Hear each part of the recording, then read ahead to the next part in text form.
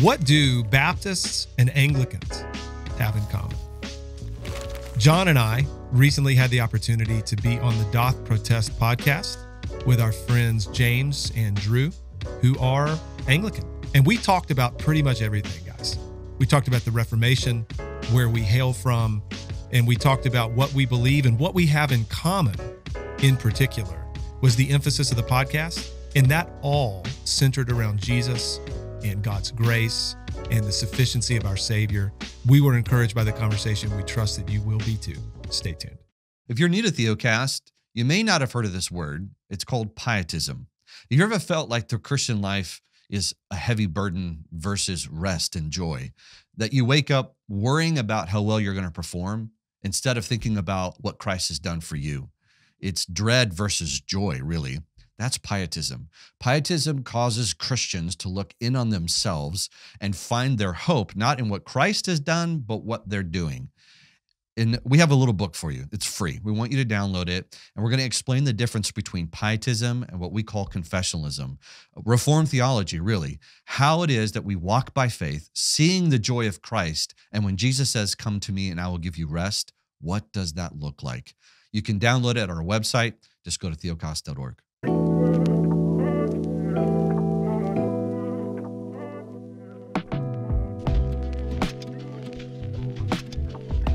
Welcome to Doth Protest, a podcast of historical theology and uh, Reformation theology and, and practice. And we are here today.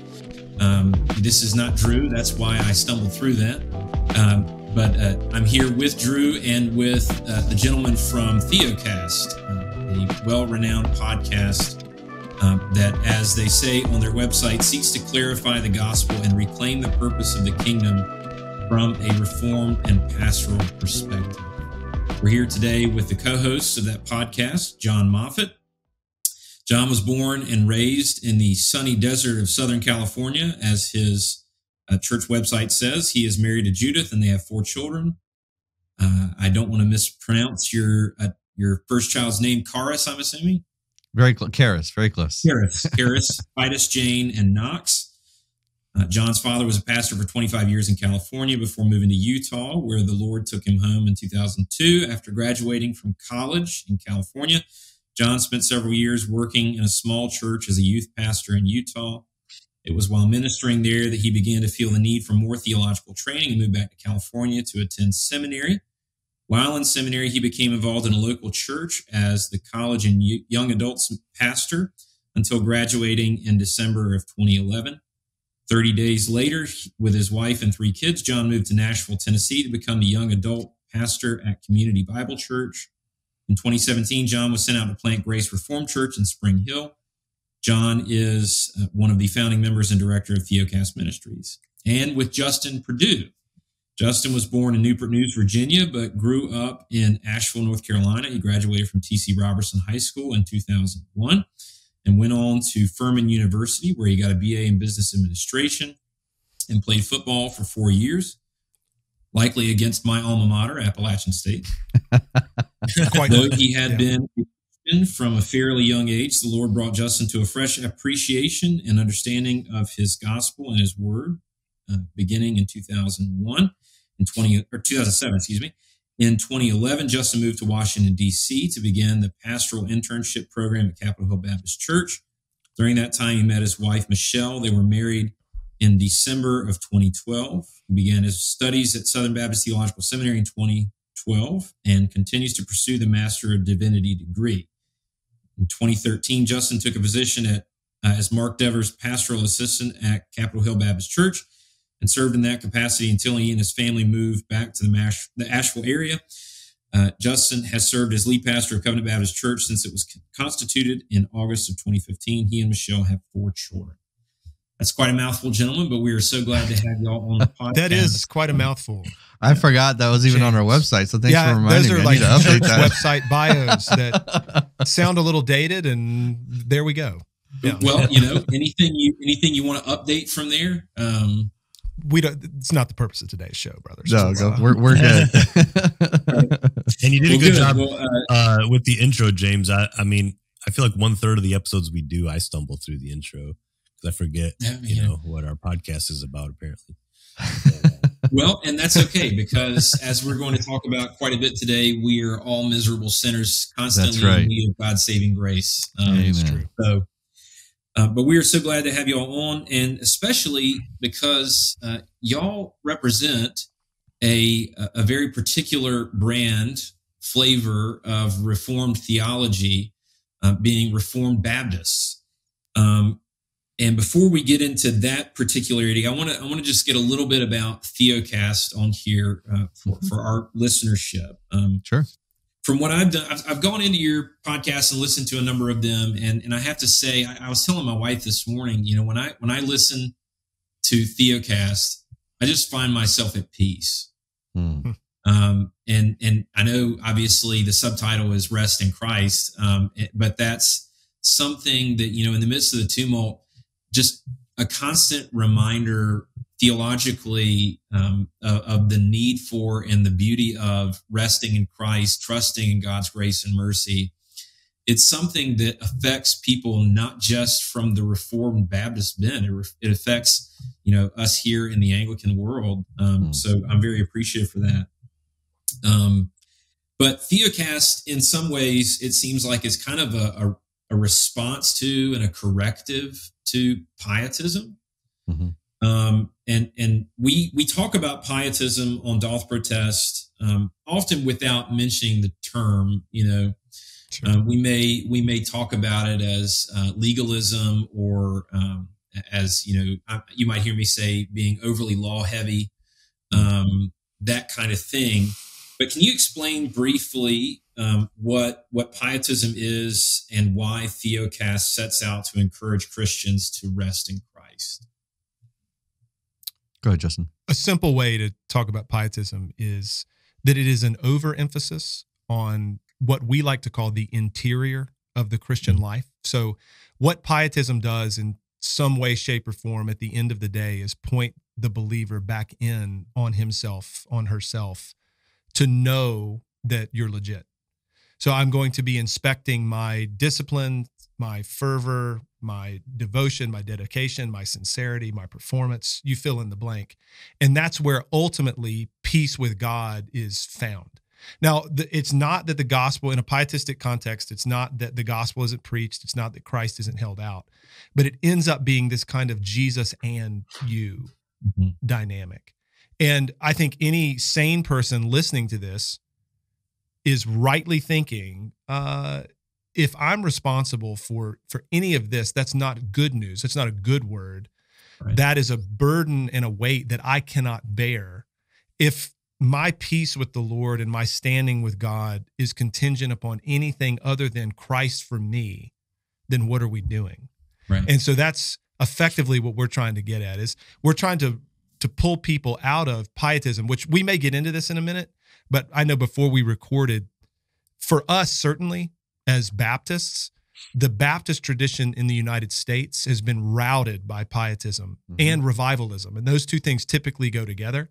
And so mm-hmm. for Jon and myself, we're trying to pull people out of that. We're trying to help people see the the environment they're in, help the fish understand the water it's swimming in. Like let's describe some of this and put some words to your experiences and so that you see what pietism is and what revivalism is. And now that we've described some of that, let's pull you on to something better, namely the rock that is higher than you, who is Jesus Christ and everything that he has accomplished in our place.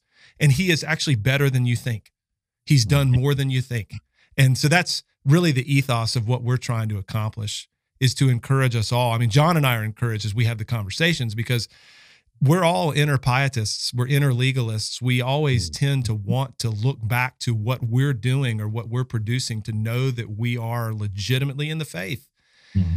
And it's really good to be pointed outside of ourselves, that that cry of the Reformation, right? extra nos, mm-hmm. to be mm-hmm. pointed outside of ourselves to Christ, who has accomplished our salvation. And the work that he's accomplished is not changing, it's not going anywhere.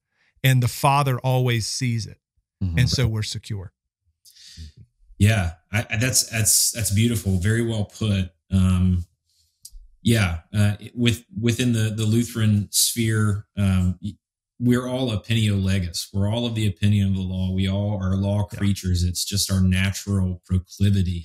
Um, you know, in, within the, uh, the, the lectionary that we use on Sundays, um, this week we're going through uh, John 15. I am the true vine. Hmm. And so uh, the refrain for my sermon is, "We are not fruit inspectors." Like that's that is that's right. that is our natural inclination is to sort of look and see what we've done and to to try and judge whether it's worthy, uh, whether oh, it's yeah. enough. That's right. Um, and ultimately, that's that's only going to be devastating. Um, yeah, exactly. And, and and that's that's the problem that I think um, you know Protestantism has in general, not just the Reformed Baptists, not just uh, Episcopalians, um, not just Lutherans, but we've all got, as you were saying, Justin, that tendency to, um, well, to, to use my own language or Paul's language, to, to sort of be shackled again to the law. Um, That's right. Yeah. In, instead of being, you know, being free in Christ. If if I may, really quickly, James. Sorry, yeah. Drew. The question, like you said it, we're always looking at what we've done. We're inspecting our fruit to determine if it's enough or not. Mm-hmm. And the answer to that is, well, of course it's not enough, but Christ is enough. Mm-hmm. Right. Right. We we always think that what we have done, it's like, okay, well, let me do this, let me achieve this, and that will do. It's like, no, it won't, but Christ will do. right. right. That's right. that's the answer. Yeah. Right. Yeah. Well, and just to even I'll, jump on the illustration of the of the vine, we miss uh, at times when we talk about fruit inspection, we miss the we miss the picture. So, for instance, uh, the tree that produces the fruit, that fruit's not for that tree. If you think right. about it, right? It gets its sustenance from the ground and from the rain and from, but the fruit is for others. It's for to be consumed by other people, and we often somehow uh, attribute that God needs our fruit. And so we right. better be inspecting our fruit that is sufficient. And it's not other people need our fruit because what are fruits of the spirit? Their fruits of the spirit are to be experienced by other people around us, right? right? They're the ones consuming the fruit and it's produced by the Spirit. So, you know, there are times where at times when we when people hear Theocast, they assume, oh, well, you guys don't care about the fruit of the Spirit. I'm like, oh, we care much about it because it's beneficial for other people, but it's of no value of uh, for your relationship with the Lord. Right. He does not look to your fruit for that. right. he, yeah. he, other humans who are sinful, they they can consume, you know, okay fruit, but God can't. Right. He, he rejects it and, that, and that's whole it's that the whole illustration is really healthy to remember yourself by because like the fruit of the spirit is is vitally important just not for your salvation mm-hmm. at all so and it's one thing I was, by the spirit yeah one one thing i was um that was on my mind sometimes i i, I do i like to throw in i like to try to best i can play a devil's advocate with um sometimes and just so we can fully hash out uh there uh, always has to be one, Drew. Oh, yeah. Well, no, I, I so I I fully um obviously I fully hear you all out because the point, I mean, one of the main points behind what James and I do with our with this podcast of Doth Protest is to, and I and I and I touched on it in our pre-show conversation is that we thought we think the magisterial reformers were really mm-hmm. onto something when they did the work that they did 500 years ago mm-hmm. and we tried to um, we we tried to keep their message alive and we stand on their principles uh, on this podcast mm-hmm. as much as even the magisterial reformers themselves maybe diverge between one another um, and you heard me say before like you know uh, we, we're kind of uh, we can sometimes feel like alone this reformational uh, mindset can kind of seem like a uh, we can often seem very lonely in a sea full of later of a greater Protestant landscape that was developed, that was uh, influenced by the later developments you both just spoke to, revivalism, pietism, mm. um, you know, and I think um, all you have to do is go back to, to Luther, um, who who so much of his early life was him fretting because he was always looking within, and he found That's the exactly comfort right. and and freedom from seeing that the salvation comes from outside yourself and it's it's that anchor that will not change. You just cling to that. It's not it's not based on how much you're feeling inside. Um but you know i always try to see like what you know i try to see was there a genuine good impulse behind some of these later protestant developments like um like pietism for instance? Um is there you know, in, in the century following the Reformation, when uh, they had a whole lot of councils and diets, diets, and they where they were trying to get very to, to very precisely hammer out confessions to as to what we need to believe. Um, it, it was was there a point, um, and especially when you when it when you get the scholastic period of the 17th century, was there a point where um, Protestantism did, uh, especially because we all know there is a type of confessionalism out there that is very much about intellectual assent to propositions. Um, yeah. Regardless of that person's, I don't want to say that the, their character, but just like, you know, um, it, you know, there is such thing. I mean, the scripture speaks of dead faith, obviously. I mean, obviously we, James mm-hmm. writes a lot about that, but, but even I would say Paul, when he talks about the fruit. So I guess what would, um, is there a good impulse to recognize behind these later uh, things like revivalism and pietism, which have seeped so much into, especially American Protestantism, um, as much as we, and I agree, I feel it has gone, um, it has just gone so it becomes so excessive and dangerous. Mm-hmm. Yeah, I I'm happy to respond to that. I we say this a lot, and we even try to do this in our writing we never want to impugn motivations. We assume right. well of our brothers and sisters and thereby assume that the intentions are good behind a lot of these things. And even in our present moment, I have a number of friends who I would say are pietistic evangelicals, mm-hmm. uh, revivalistic evangelicals, maybe even in some ways, mm-hmm. who are sincere, love the Lord, love their neighbor, and mean well. And mm-hmm. so never want to impugn motivations. I do agree. So, I mean, effectively, what you're pointing to, Drew, is the reality of dead orthodoxy. That right. does exist. I mean, that's one of the pitfalls in confessionalism is dead orthodoxy. So then you have to ask the question, all right, even like if pietism and revivalism were well intentioned, we still want to evaluate the the doctrinal underpinnings and even the methodology on their own merit. And that's where I think I would begin to have some concerns. And rather than outlining what all those are, I would ask the question, what's the better way? What is the antidote? Like if if what we're concerned for rightly is that people do experience real God wrought transformation of life.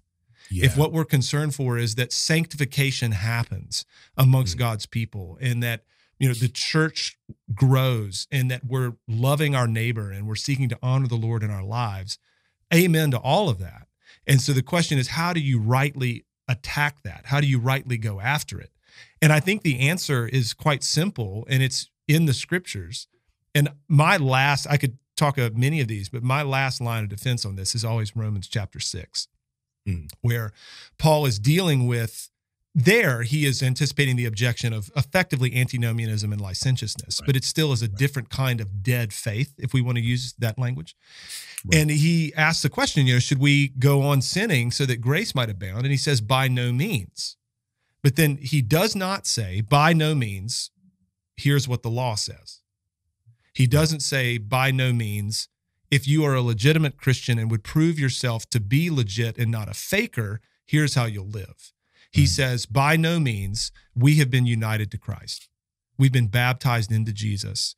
We have been justified from sin's guilt and thereby have been set free from sin's dominion and have become obedient from the heart. Right. And so now let's live accordingly. Mm. And of course, he's going to go on and say a number of other things about the internal war that we fight, the mm-hmm. eternal security that we have, how God saves all of his people. And then he pivots in chapter 12 to talk very specifically about how we live. I appeal to you, therefore, brothers, by the mercies of God, present yeah. yourselves as living sacrifices. So I think I think that's a better way to go at it is to mm. not you know introduce this kind of false dichotomy. It's like, well, and, and not that you're saying this at all, Drew, where it's right. like either we emphasize the objective realities of Christ for us or we emphasize godly living. Right. It's like, no, we preach Christ and his sufficiency and union with Christ for not just justification, but also sanctification.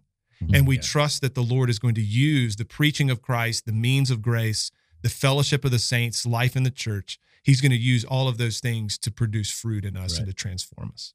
Right. I uh, and, and just so y'all know, it, it, it took a lot for me to try to uh to um, articulate the counter argument there because I was really struggling with it because no, I don't, brother, you're good. I, I don't buy it at all. That, well, like here's that. the. I just, but I like to. But here's the here's I'd the like instinct, right? That, it's that objection. Though. Yeah. Right. We we want religion. We want religion deep down. It needs to be real and sincere. People feel this, and mm-hmm. there needs to be something authentic about it, including the transformation of life. And that is, I mean, that's the methodology of revivalism, right? We're going to mm-hmm. go hear a fiery preacher and we're going to have this conversion experience and then it's about the transformation of my life thereafter mm-hmm. right. right. and what pietism and revivalism represent and i'm going to try to use these words precisely it is a subjectivizing of religion that is unhelpful mm-hmm. right where it becomes so much about me mm-hmm. and my experience of the divine my conversion moment my transformation that becomes the emphasis right. and at least becomes it's woven into the fabric of my salvation and I have to look to it somehow. And that's what we're trying to argue against right. is that it is always and only Jesus when it comes to salvation. And then there are all kinds of consequences and outflows of the fact that we've been vitally united to him. Amen. And isn't sanctification, yeah. it's, it's really rooted in, in gratitude. I mean, to speak of uh, you know, James and I are a, a, big important person for us in our Anglican tradition is, of course, Thomas Cranmer, the English reformer, mm-hmm. mm-hmm. principal architect behind the Book of Common Prayer, of which even modern prayer books yeah. still retain a lot of what he gave us. Um, and mm-hmm. he, he speaks so much of transformation of life. And it's not in the context of putting the onus on the believer, but just that is, like you said, woven right into the tapestry of what God through the Holy Spirit does in us, right? Um, so I, it's all out of gratitude and giving giving thanks for what mm. God has done that we could not even begin uh, to pay back, or or you know, as much as that's the human temptation. So, hey guys, real quick, some of you are listening to this and it's encouraging to you, but you have questions. So where do you go? How do you interact with other people who have the same questions and share resources? We have started something called the Theocast community, and we're excited because not only is it a place for you to connect with other like minded believers, all of our resources there past podcasts, education materials, articles, all of it's there, and you can share it and ask questions. You can go check it out. The link is in the description below. This this is I think really helpful to to give us kind of a perspective and give give our listenership and hopefully y'all's listenership um, a good idea of where we are we are simpatico we're in agreement about mm. um, the essentials right you know um so I, I, would like if if y'all could to give us and, and i know this is always hard um, to to sort of distill uh, what what it is to be reformed baptist into a, a short time mm-hmm. but could you give us a picture of what reformed baptist theology is all about where where it comes from, what its major foci are, and then perhaps even how it might differ from Presbyterian Reformed theology. I know y'all have done some episodes on this, so I'm, I'm hopefully mm-hmm. teeing you up for something you've been talking about recently. Yeah, I could probably summarize it in like five seconds. Reformed Baptist is biblical and it comes from the Bible. So, next question. Oh my goodness. Imagine that. So don't, don't you love it when people do that? Right. as if what, as uh, if you don't you don't believe you come from the Bible. That statement is not endorsed by Theocast. Those thoughts are the thoughts of Jon and Jon alone. right. Oh, I love it when I get into a discussion with somebody on a theological difference like we're talking about now and they their phrase is well i just believe the bible and it's like well yeah i believe the book of mormon so that's how we got here so you know whatever. Um, yeah what's interesting about the reformed baptist faith that justin and i um, often allude to is the historicity of it is not very short. It's not a short history. It's a very long history um, it is rooted in the reformation and so we find a lot of comfort in that. Um, i do know that um, there's a resurgence in the history of this particular movement in that um, which is good. There was some confusion that we were a part of the anabaptist movement uh, which we weren't uh, and there's a lot of radicalism and just heresy that comes out of that movement. Um, we really do herald from our, our, our presbyterian brothers. So our confession, which is the London Baptist Confession, there's a, the second one. So there's the first one from 1644, and then this is the 1677 printed in 1689. Is a is is really a plagiarism, uh, and pridefully so. We're so thankful that we plagiarized both the uh, the Westminster Confession and the Savoy Declaration. And mm-hmm. what was what was uh, being a lot of the men and women using these confessions uh, were raised on them. They found a lot of deep affection for them, but as they studied Scripture in their conscience, uh, they were finding a, a harder time of uh, applying. This is why the Savoy existed because there was a polity disagreement. Mm-hmm. And then on top of the polity disagreement, there was a disagreement on the administration of baptism. Besides that, uh, there is so much unity and harmony when it mm-hmm. comes around uh, the primary doctrines of, of the faith. Um, and I'll throw this over to Justin here for a moment, but uh, just to kind of like as a, a high watermark, what we did, we did a three part episode, kind of really walking through the history of explaining this in that um, there's a there's a difference in covenant theology, meaning there's there's just a difference of understanding how the covenants unfold and play out. Uh, and it will influence your understanding of ultimately in the end your understanding of the new covenant and who the new covenant is applied to as far as uh, those uh, are are professing faith or those who are brought into the covenant by baptism. So we did a, yeah. a long, we can talk more about that if you want. But from a historical standpoint, Justin and I come from what's called 1689 federalism.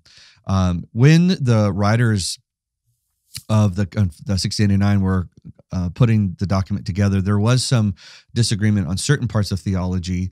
And uh, so you had uh, some variants a little bit on, um, and this is even true of the Westminster. So there were some disagreements on uh, how the Westminster doc were put together, but disagreements a little bit on covenant theology. And so the document is a little bit broader, thankfully, to allow um, s- some variant views on the covenant of grace.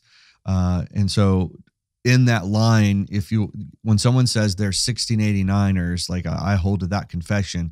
Justin and i are thankful for that but then there, there's still a little bit of a clarity of great but what does that mean to you?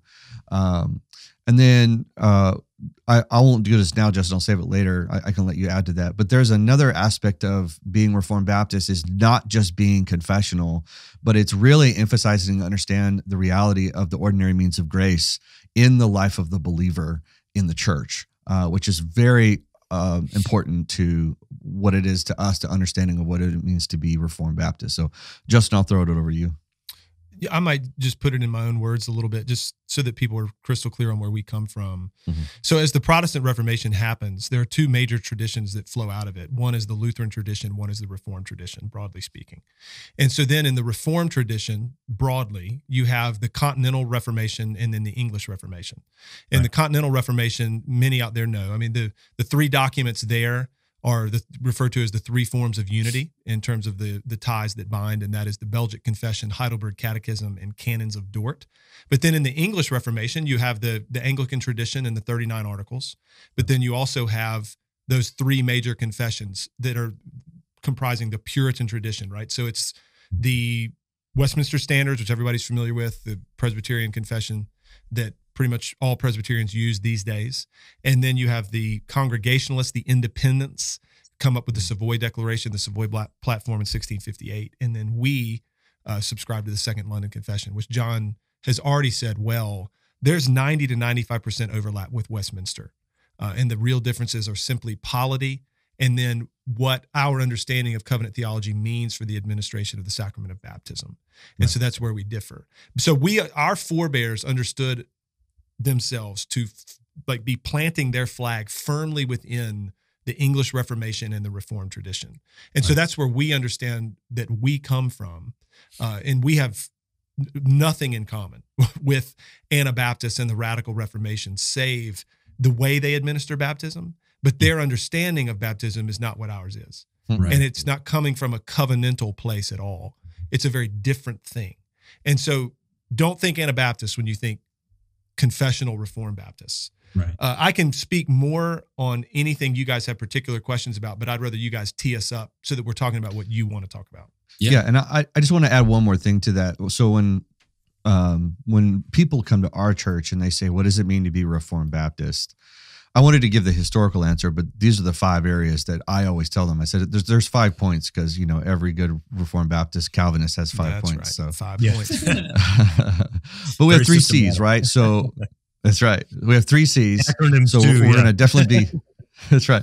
Calvinistic, covenantal, uh, and confessional, and it's important for us to help people understand that those, you know, because sometimes when people say they're Calvinistic, that's as far as far as they go. But those three are important for us as a Reformed Baptist. And then the other 2 Mhm. points that we emphasize is a law gospel distinction in our hermeneutic understanding of Scripture. Uh, so when we read Scripture, we understand how to divide the law from the gospel in our applications. And then the last would be an, a proper uh, emphasis on the ordinary means of grace. So Yeah. uh, the preaching of the word, preaching, teaching of the word, sacrament, fellowship, and prayer. So um, Right. that's what really would historically make up a Reformed Baptist is an emphasis on those five theological distinctions. Yeah, and we've done an episode, I know, that's entitled What is Reformed Theology? Mhm. And we kind of answered it with those five prongs. Yeah. And so I say the same thing whenever people ask, like, what does it mean to be Reformed and in particularly to be a Reformed Baptist? There it is. Yeah. We're covenantal, confessional, Calvinistic. We distinguish between the law and the gospel, and we are committed to the ordinary means of grace as the Yeah. way that the Lord imparts, sustains, nourishes, and strengthens faith. Yeah. Yeah. Yeah. And I would say your typical evangelical Baptist um, might get a hybrid of one of those, maybe. You would get Calvinism, and then that would be about it. Maybe. Uh, uh, Depends. Yeah, I mean, for your many typical- Calvinistic Baptists in America, that's the case. yeah. Yeah, you're, you're so so.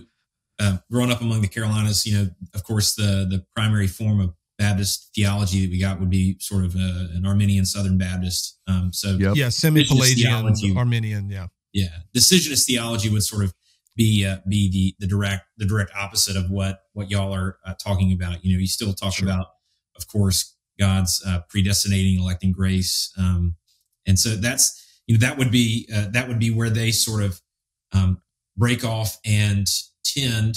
Although I don't mean this to be mean or rude, but they would tend more towards the enthusiasm of the Anabaptists. Um, Yes. sort Sure. looking within for God and looking within for um, for for um, as we were talking about earlier for for assurance and whatnot. Um, and and so you know y'all y'all have uh, of course had to sharpen your edges uh, a bit in the way that you think about and talk about what it means to be Baptist because of the differences within the broadly speaking Baptist umbrella. Um, although you have rightly pointed out that um, Baptist and Baptist don't mean the same thing. Um, and, and and so you know you even come from two different uh, two different places, two different seeds, two different um, two different theological camps, um, which again I think is very helpful for our listenership to understand. And we understand what it means to be distinctive within the Reformed tradition. We're the only Reformed tradition that maintains bishops, for instance. Um, so that's something that uh, th- that we would have more in common with um, Scandinavian Lutheranism or Roman Catholicism. Roman Catholicism. So like that more so than than uh, Presbyterians or uh, or other um, Reformed folks. Um, some of the some of the distinctives of the 1689, or rather, as Jon was pointing out, 1677, technically printed in, printed in 1689. yeah. Publicly adopted in 1689 Okay. because of persecution. I mean, it was not Mhm. safe to adopt it in 1677.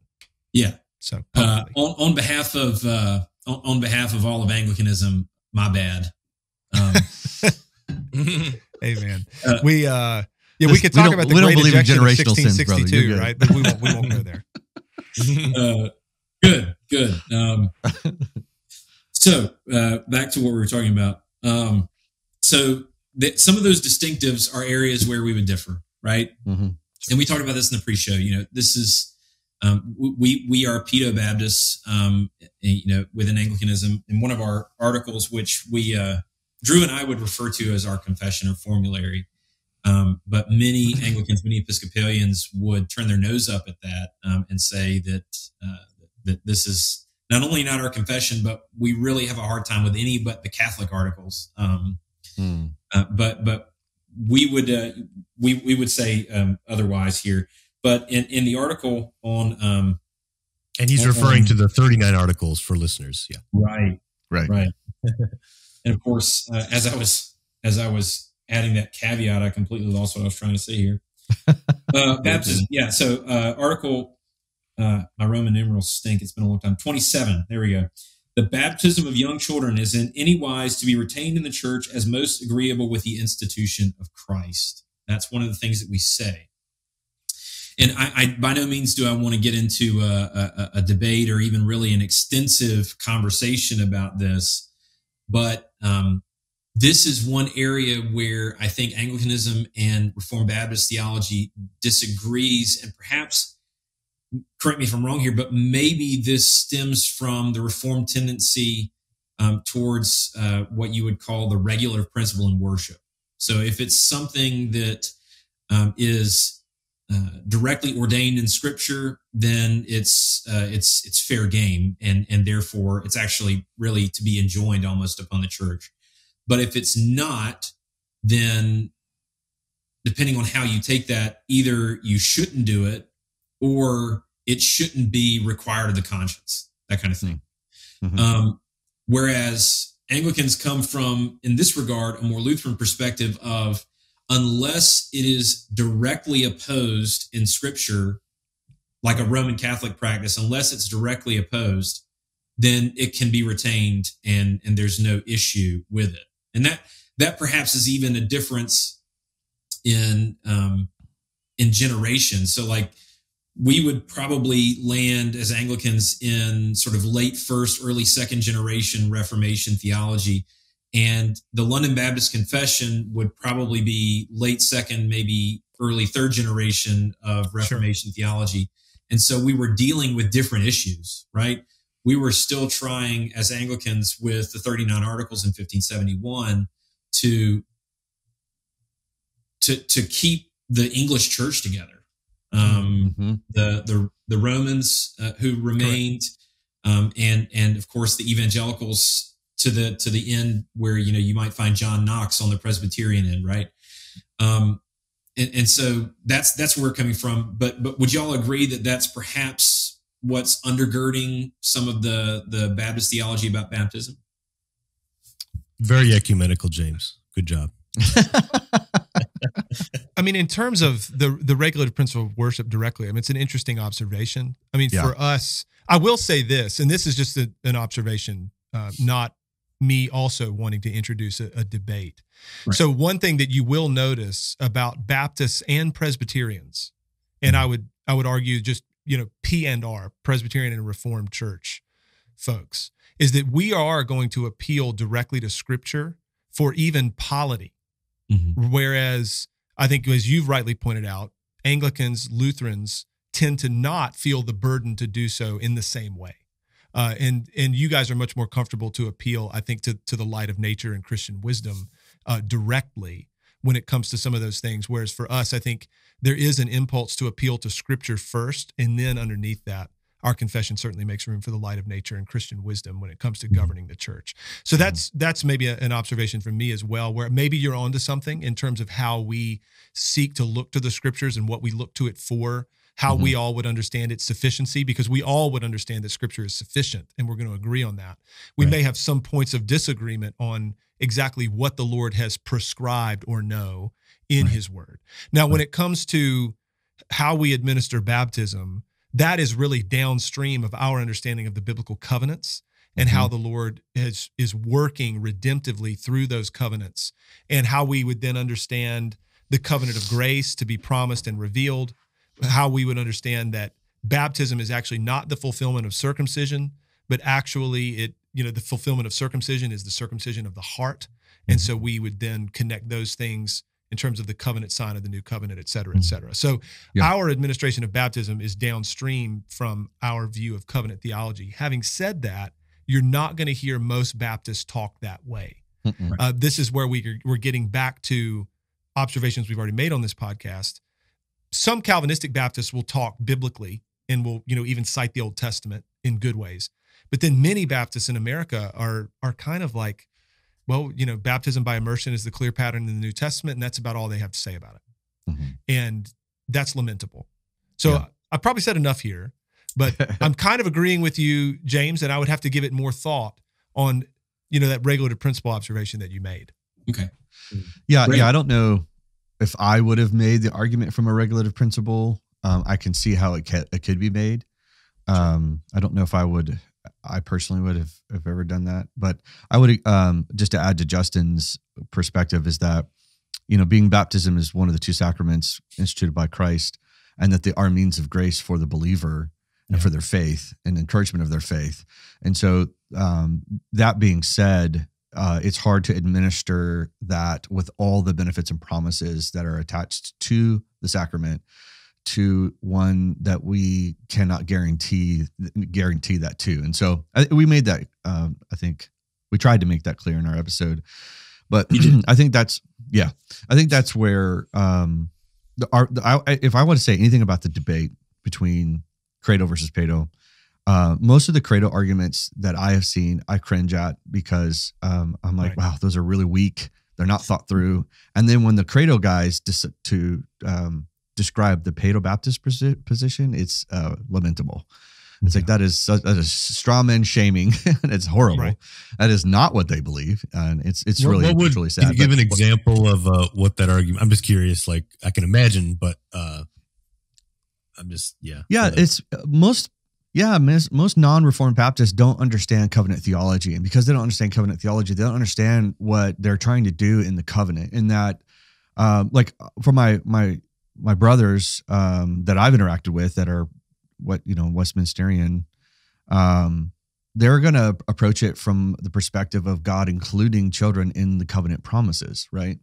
So they're not understanding that faith is being imputed into the the child, and now they they are regenerate by faith because of the baptism, but they are included into the covenant community and receiving its benefits uh, because of God's promises of the old. Uh, so one you know one covenant, two administrations. So it's been administered in the old through circumcision, and then in the new, they're they're going to be included in the covenant of grace, this this new covenant community uh, by baptism and that's where we step in and say um, the the struggle that we're going to have with the inclusion is that the promises in the new covenant are different from the promises of the old and those promises is what we wrestle with saying i don't i cannot say that this child that has received the sign is now receiving christ as uh, his great high priest and mediator um, that they are a living stone as peter says and so they because Paul says if you've been baptized in the new covenant, you've been baptized into Christ, which means you've put on Christ. So can I really truly say that a child is wearing Christ as as I am wearing Christ? And our answer to that is no. So that's where I feel like we're trying to represent our brothers well. Like we know what you're saying. We we we embrace your position as a. I think a, a. I don't think it's a heretical position and I think it's a well thought through, obviously a very well thought through and well written on position. Uh, but it's just one that we would say here are here are the holes that we can't seem to fill. So we're gonna Right. we're gonna adjust the position a little bit. And and we want to rightly distinguish between like a, a Lutheran view of baptismal regeneration and Right. a, like a Presbyterian understanding, effectively of, of covenant baptism. Mhm. Uh, and then obviously we have we have our perspective and and like we were clear on our podcast about these things. These are not primary matters of doctrine; they're Mhm. secondary. Yeah. Meaning we need to agree on them to have a church together, but we can uh, disagree on these things and all be in the historical Orthodox faith. Right. And I think we need to. I'm using you know this word that is often abused, and that's fine. But I think we do need to kind of reclaim and redeem certain language Mhm. that has been used historically. So, like, we need to have more than one gear in our gearbox. So, true and false churches. That's that's a vocabulary we need to use. A true church preaches the gospel, Mhm. right? And then a false church is heterodox, like at that most primary level. But Mhm. then you can use terms regular and irregular. Mhm. And so, like for us, what we would say about some of our Paedobaptistic brothers and sisters is true churches, no doubt, Mhm. they are they are historically orthodox, but we would say they are irregular in terms of some of their practice. Whereas they would say the same about us that Right. we are a true church, but are irregular in our practice. And I think that's just a better and more precise way to speak. Yeah. Yeah.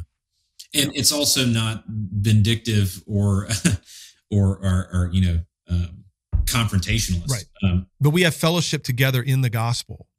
and Right. we're able to lock arms together for all kinds of good work. And we Right. agree on so much. Yeah. Yeah. And I would say all Protestants are credo Baptists. I mean, if someone comes to faith in Christ as an adult, you're going to baptize them, right? Right. So we're that. Sure. Let's not forget that. We're, we all agree on that. It's and that's the, like It's that the part. infant baptism part. Yeah, that and that part gets lost sometimes. It's not like you guys are uh, saying no, you should never baptize an uh, an adult. Th- That's ridiculous. It's- So it's yeah. like there's there's so much we agree on. It's like, hey, yeah, this is part over here we don't agree on, and I think it's irregular on either side, and we could be okay with that. I, I'm, I'm Even in our to book of baptize at common- 29. Sorry, James. Go ahead, sorry. No, go ahead. I was saying I'm about to baptize a 29 year old next month. Yeah. Praise the Lord. Yeah. Amen. Um, Yeah. yeah. and in our even our our prayer, our modern seventy nine prayer book, um, for all the qualms that James and I maybe have had and spoke about on this podcast before, uh, the uh, when you go to the the the rite of baptism in it, um, it the first form is to use for an adult, uh, the next being Mhm. a child. Um, say you know. Which maybe sends the message that you know the baptism of an adult is you know credo is is is primary in a certain kind of sense, but um, Mhm. of course, Yeah. you know, it's so What and and you know, um, this is this is an area where, as we've all agreed, uh, we we lovingly disagree within uh, the historic Orthodox faith. Mhm. Um, but there are so many other places where the 69, 80, 1689 London Baptist Confession and the 39 Articles do agree. And, Right. and Anglican tradition do agree. Um, and for me, you know, one of the, I, I do some writing on occasion for the Evangelical Fellowship of the Anglican Communion. And one of the, one of the articles I wrote was sort of, what is brass tacks? What would you say is an evangelical? Sort of like baseline without which nothing else, you know, can be, um, can be the case. The sine qua non of being a, a, an evangelical. And for me, it's the solas. Um, you know, and that's an area where, where we agree. Um, Mhm. and especially sola fide.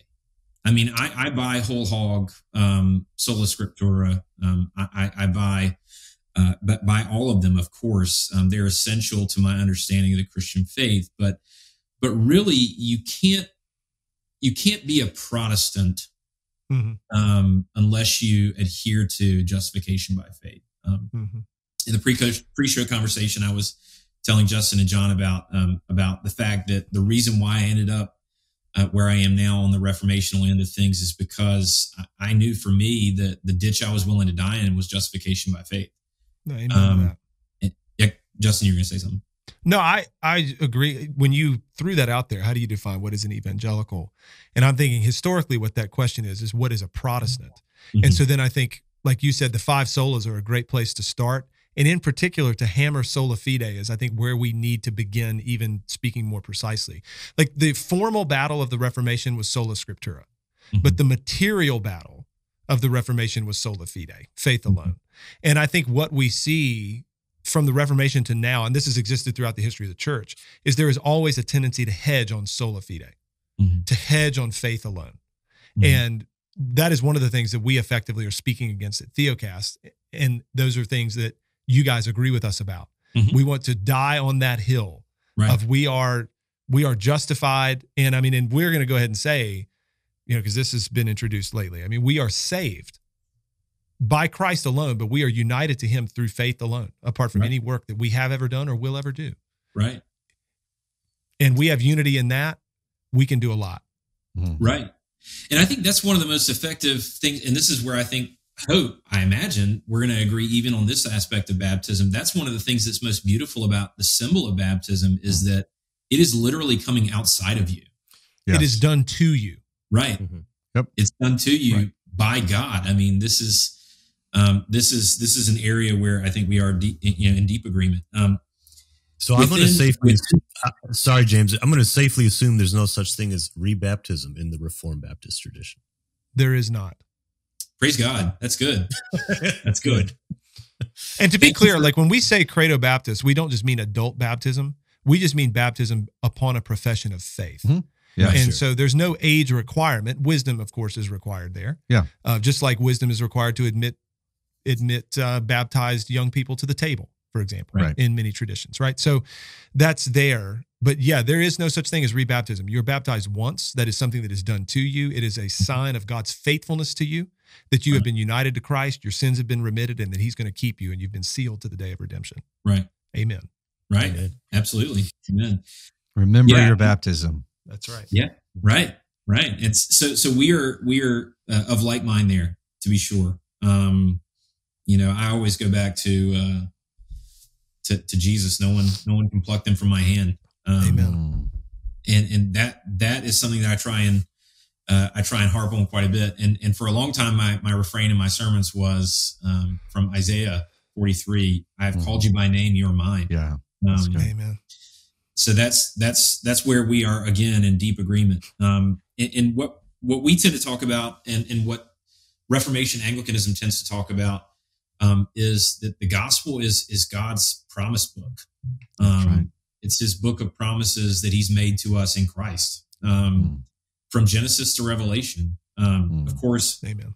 within that we have we have to uh, necessarily rightly do- divide the word of truth um, from law, the law from gospel um, that's of course an essential part of what we do but but that's again a place of agreement another place of agreement is that we believe that god predestines and elects his people to salvation Mhm. um, you know, I, drawing a little bit again from the 39 articles, um, predestination to life. This is uh, Article 17. Predestination to life is the everlasting purpose of God, whereby before the foundations of the world were laid, he hath con- constantly decreed by his counsel secret to us to deliver from curse and damnation those whom he hath chosen in Christ out of mankind and to bring them by Mhm. Christ to everlasting salvation as vessels made to honor Amen.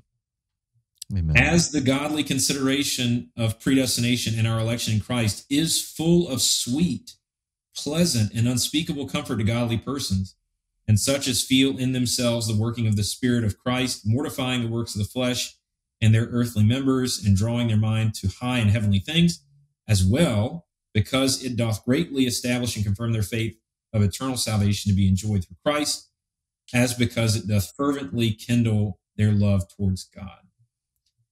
And then, of course, it goes into carnal persons, um, as you might Hmm. expect. Yeah. But, but so, like this is um, this is with the another area think hesitancy with the hesitancy to go into a, a, a double predestination and i don't know if i'm going to bring Right. that brings up another debate but that is i i Right. think uh, most scholars of the 39 articles people like gerald bray if i'm not mistaken you know s- they see the article uh, that article is uh, not really going beyond the realm of speaking about Mhm. the promise to the elect nothing about the Right. unelect Right. uh, so- Right. and the pastoral danger Right. that they think that there is in in, in Mhm. focusing too much on you know which which per am i am i one am i the elector am i not am i not you know Right. So, yeah. um, And that's that's why that article makes it abundantly clear that predestination and election are sweet doctrines. Mhm. They are they are there for comfort and assurance. They're not Right. there like Jonathan Edwards to have us prove our No. election. No. They're there as a Or Richard Baxter. reminder. right? Or Richard Baxter, yeah. They they're there as a constant reminder of Isaiah 43. I have called you by name, you are mine. And when God says you are mine, he doesn't say you are mine until you screw up. Yeah. You're, Right. you're his period. Um, that's Exactly. that's you know the end of the story. Um, I mean, Romans loves- eight, right? Nothing Yeah. can separate you, Right. and that and that and that's just hard to hear because we always want to contribute, and God's like, listen, when you decide to contribute or think that someone else is contributing from removing you, there's nothing that will separate you, and that's a great comfort in the midst Right. of suffering. Well, Oh and even gosh. the the parable of the prodigal son, right? I mean, the Mm. the prodigal son always had the love of his father, mhm. and you know, even when the son comes to his senses when he's in a foreign country, I mean, it, that's that's just him kind of assessing his circumstances. He's like, yeah, this ain't quite what I thought it would be, and then he has this speech rehearsed. I mean, we all know it. He's got this pitch, you know, Father, I've sinned against heaven and before you. I'm no longer worthy to be called your son. But then he's got this idea. I'm gonna like let me work for you. Mm. Mhm. let me work in your Right. household. And he gets back, and of course, the father sees him coming and runs, and there's so many things that could be said there. But the son begins to give his spiel, to give his Mhm. his prepared comments, and the father interrupts him He can't even get to the part where he's going to ask to be a slave in his father's house, a mm-hmm. servant.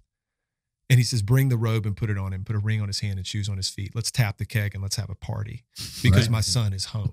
Right. That's the I mean, that's that's the imagery. yes, right. New That's a Living Reformed Translation. Baptist translation. New Living Translation. And but but that's that's it, is that the father has always loved his children. That's right. and and it's a sweet word and we don't need to do all these we in our human reason paint ourselves into a corner theologically so often where it's like well you know then can we really tell sinners that that christ died for them? Like can we stop with that nonsense and that stupidity? Thank you. just like the law condemns everybody universally Mhm. right? We all understand that intuitively.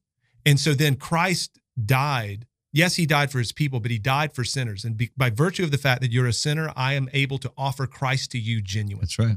Mhm. right and like this this was all a part of the marrow controversy in the church of scotland in the you know this 18 18th century and so we don't need to get into that that's a presbyterian situation that i think is quite instructive for our day but we Mhm. herald christ freely and wholly to sinners and we Right. offer him and hold him out and say christ died for such as you right, Right. and there is no no reason to be hesitant to do that whatsoever just because we believe in god's sovereign grace and election Right.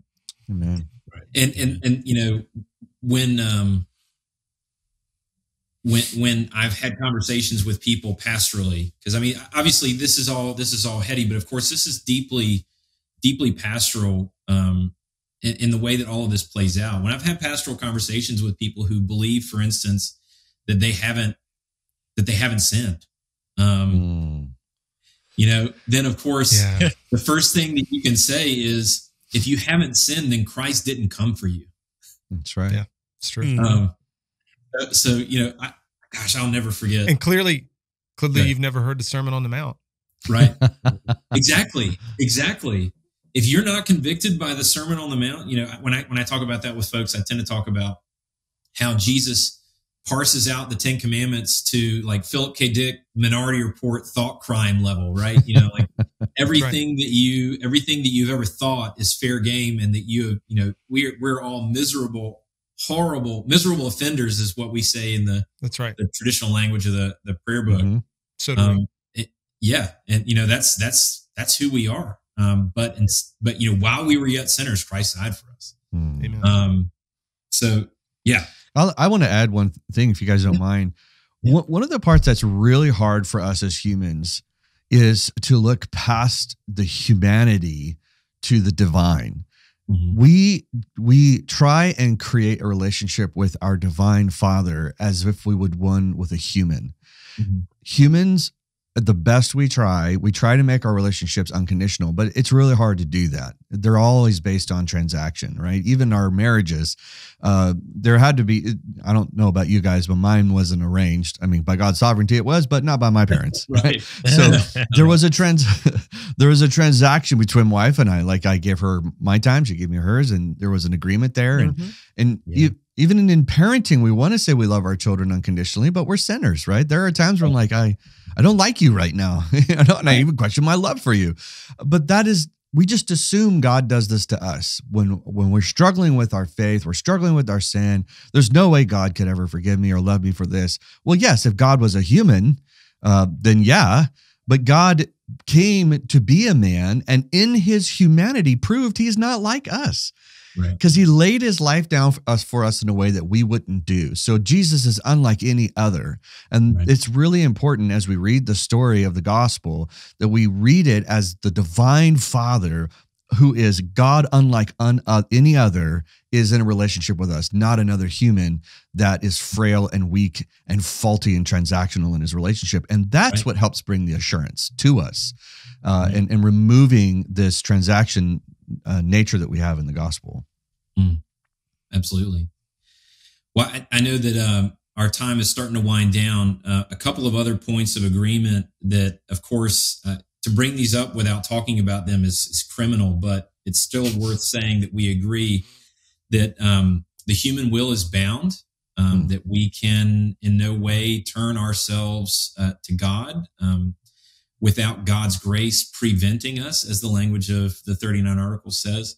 and that even in baptism, our tendency is still curved in on ourselves. We still have that natural inclination um, to do what we want to do. Paul, you know, you were talking about in the, um, I believe it was in the baptism episode. I've listened to a few over the last few days, but you were talking about in the baptism episode the fact that, or maybe it was the Arminianism episode. Anyways, you'll remember, where, whereas I might not, but uh, that the, you know, that there's the argument that Paul was not regenerate when he wrote Romans seven, like mm-hmm.